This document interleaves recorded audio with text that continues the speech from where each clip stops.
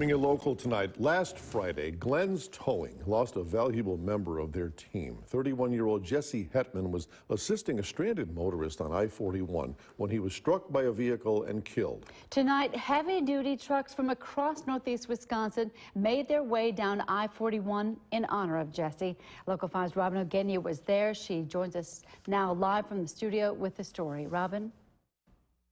Aaron, Tom, Jesse's family and friends emphasized that tonight's gathering was not a funeral procession, but instead an honor run. Hundreds of semis, quads, and heavy-duty wreckers came from near and far to remember the man killed doing the job that he loved. It's terrible. A young man in the prime of his life, uh, wife and two children. I mean, uh, it doesn't get any more tragic than this, really. This wasn't your typical memorial. What started as a Facebook event turned into a huge motorcade. This is overwhelming. Uh, we, we just feel such gratitude for the outpouring that we have received since Jesse was killed um, on Friday. Jesse worked for Glenn's Towing and was removing a stalled vehicle from the roadway when he was hit by an oncoming car.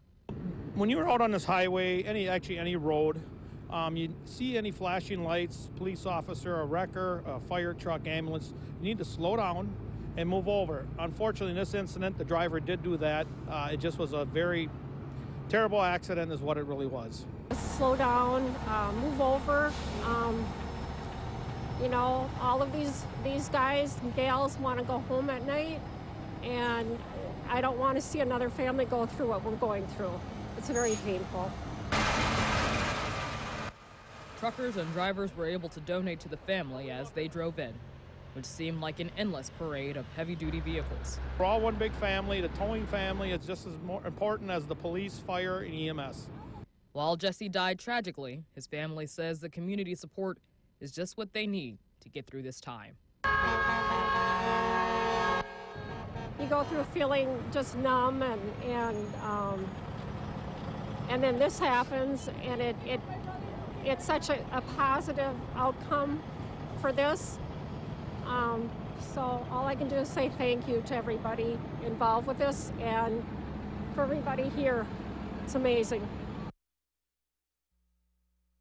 Jesse did leave behind a wife and two little girls. To find out how you can show your support for the family, head to our website, wearegreenbay.com, and click on this story under local news. In the studio, Robin Ogenia, Local 5 News.